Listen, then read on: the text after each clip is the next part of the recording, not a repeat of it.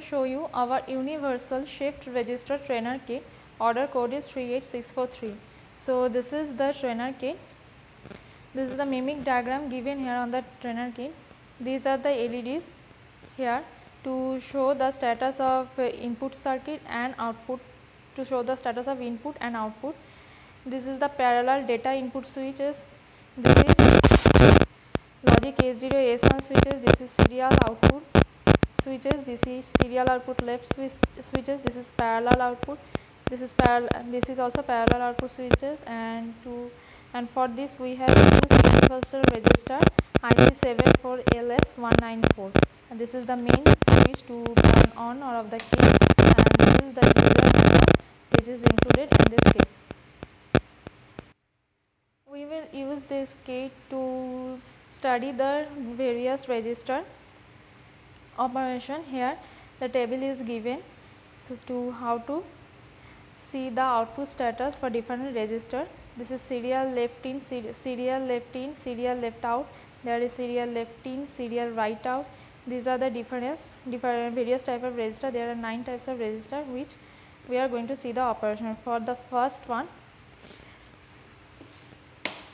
we will disable this master reset switch here you can see given enable is 0 and disable is 1 now we will put S0 at 0 position and S1 at 1 now we need to enable serial output which is 1 and we need to disable the parallel out parallel output which is 0 so give serial data input like this and press this clock switch sorry clock pulses to see the output. You can see there here the output is showing. Now you will do the next one. So for next one serial left in serial right out we will see the output right here and first we need to give input data for this we need to disable the master reset switch now we need to put S0 at 0 and S1 at 1. Serial output will be in disable mode. This parallel output will be also in disable mode. This is the serial data input. This is serial data input. We have given the serial data input. Now, for out to see the output, we need to change A0 to 1 and S1 to 0. Serial output to enable mode. Parallel output will remain in disable mode. Now we will leave, give clock pulses to see the output. Here we can see the output. Now for the third one that is serial right in, serial right out. So for first reset the master switch and then disable it. Now put S0 at 1 position, S1 at 0 position, S2 will be enabled and S3 that is parallel output will be disabled. Now give the serial data here and we will see the output.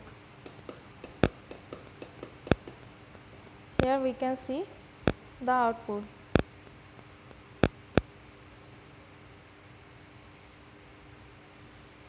Now we will like this we will see the fourth one that is serial writing and serial left out. So first reset the master switch and then put it in disable mode.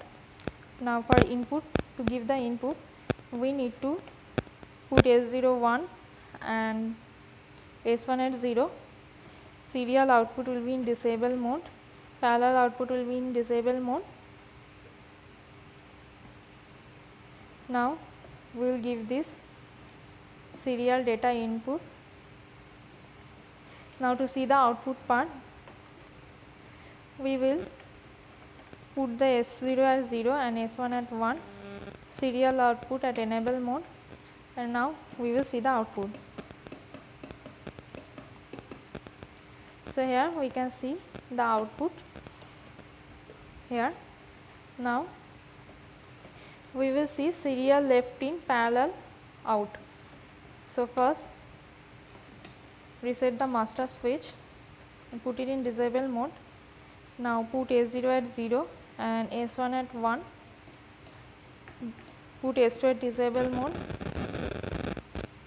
and parallel output at enable, enable mode. Now give, now use serial data to give the input. Now we are going to use this clock pulse switch to see the output. We can see here the output.